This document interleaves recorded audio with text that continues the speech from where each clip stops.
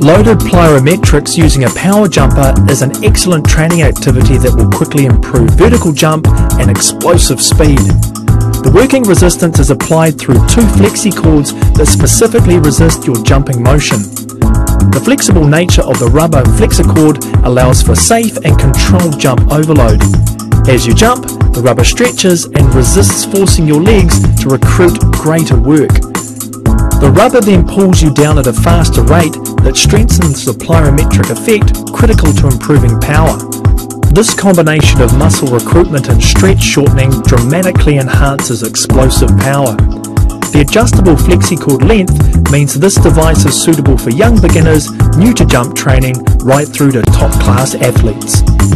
One person wears the padded waist belt. Be sure it is tightened securely.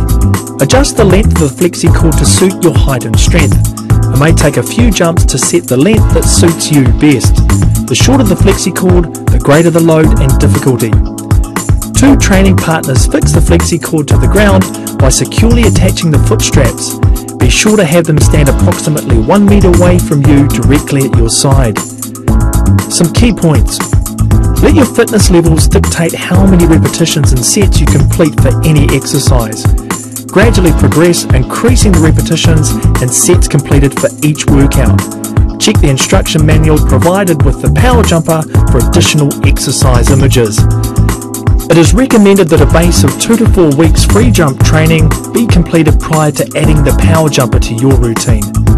Plyometric training can be very stressful on joints and ligaments. It is very important that you progressively increase the intensity of workouts and start easy. Do not attempt advanced exercises for at least six weeks if you are new to jump training. The following is a selection of sample workouts and progressions.